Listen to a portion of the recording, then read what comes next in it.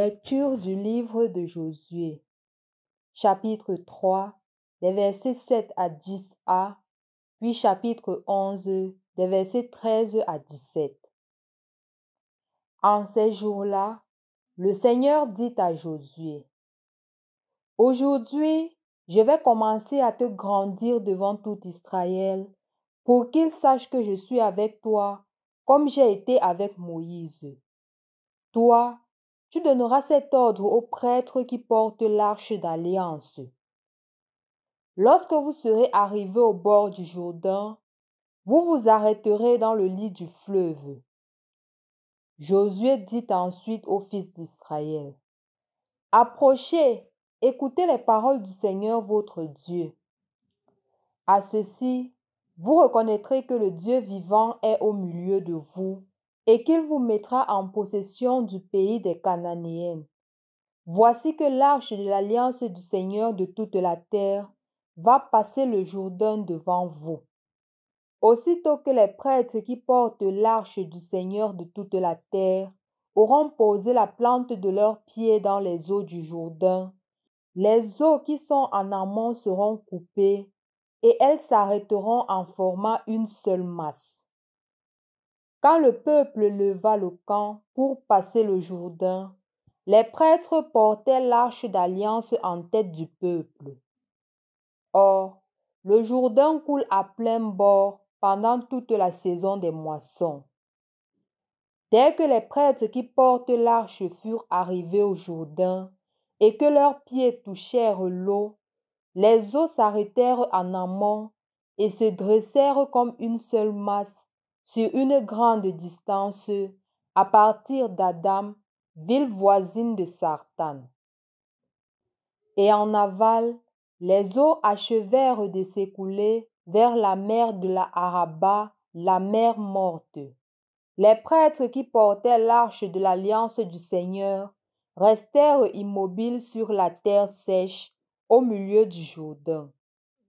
Alors tout Israël traversa à pied sec jusqu'à ce que toute la nation eût fini de passer le Jourdain. Au nom du Père et du Fils et du Saint-Esprit. Amen. Loué soit Jésus-Christ.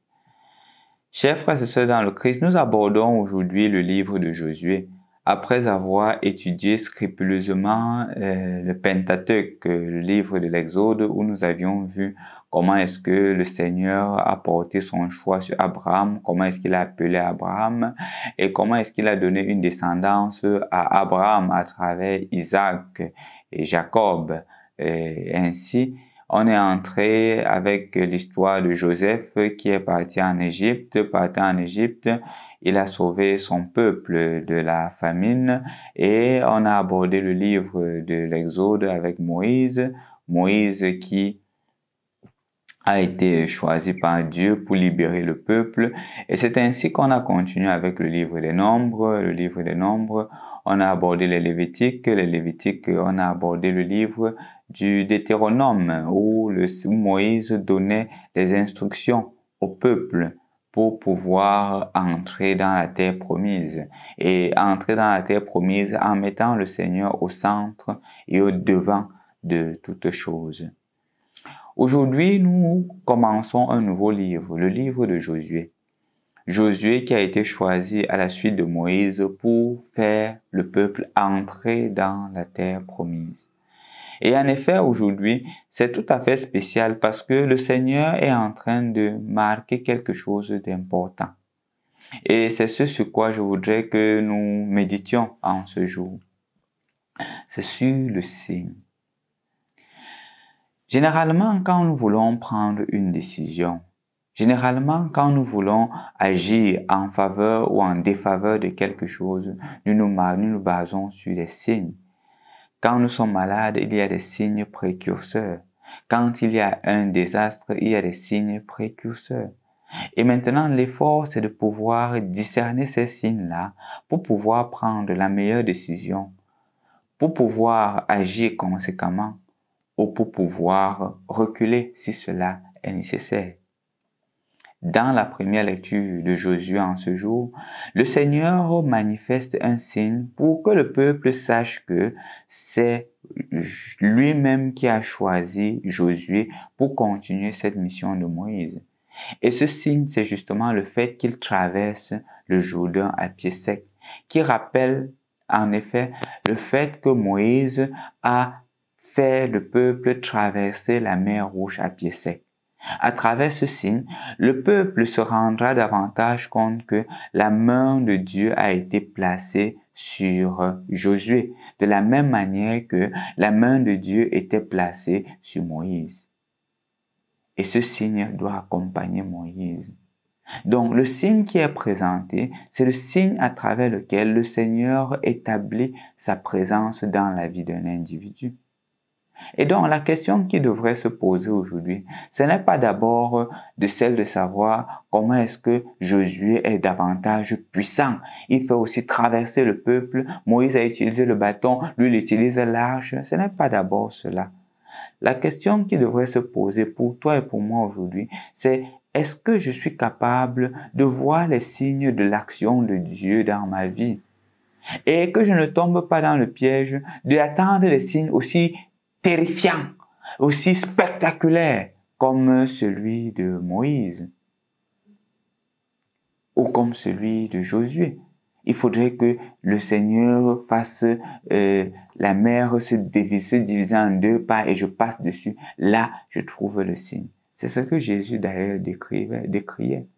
Quand le peuple disait que quel est le signe qui montre que tu es envoyé de Dieu?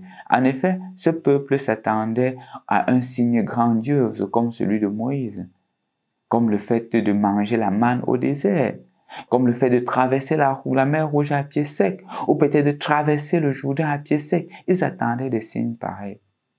Mais Jésus ne vient pas avec ces signes-là. Jésus vient avec des signes qui nécessitent un discernement profond pour pouvoir les capter, les observer et d'agir conséquemment.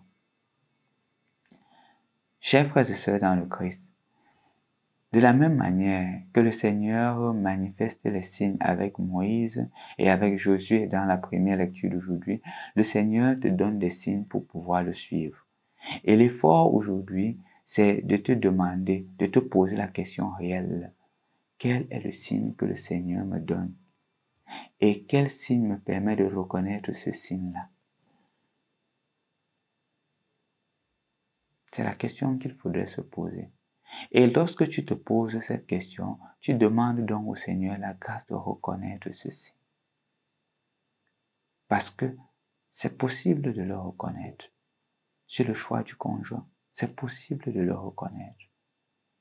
Sur les décisions à prendre pour un emploi, c'est possible de le reconnaître. Pour la décision à prendre dans la gestion de sa famille, c'est possible de le reconnaître. Et donc l'effort aujourd'hui, c'est de te demander et de demander au Seigneur la grâce de reconnaître les signes de sa présence. Il y a des signes évidents dont tu n'as même pas besoin de dix années de prière pour les reconnaître. Quand par exemple, tu es en relation avec un homme, il passe le temps à te tromper, il passe le temps à te tromper de façon indéfinie, au point où il te trompe devant toi, et il te fait savoir que c'est normal pour un homme de tromper une femme, ou pour une femme, c'est normal pour une femme de tromper un mari. C'est un signe que ce mariage-là ne te rendra pas heureux ou heureuse.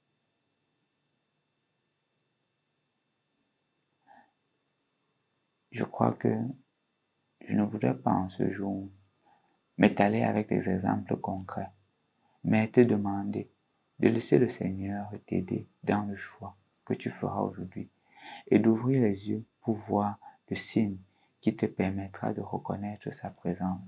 Lui-même, il se révélera à toi.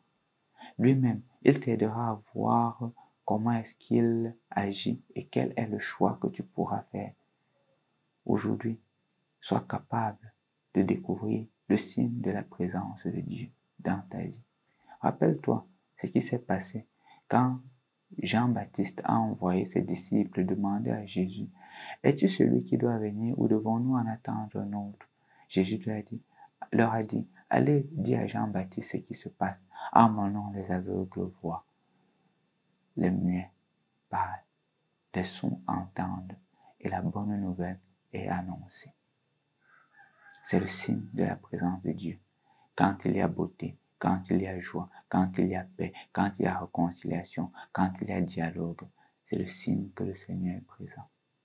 Et donc, si tu te rends compte que là où tu es, il y a la division, il y a la haine, il y a la guerre, il y a des jalousies, dis-toi et rends-toi compte que ce ne sont pas les signes de la présence de Dieu. Et tu n'as pas à rester là-bas durer, durer, durer, en disant que j'espère un meilleur lendemain.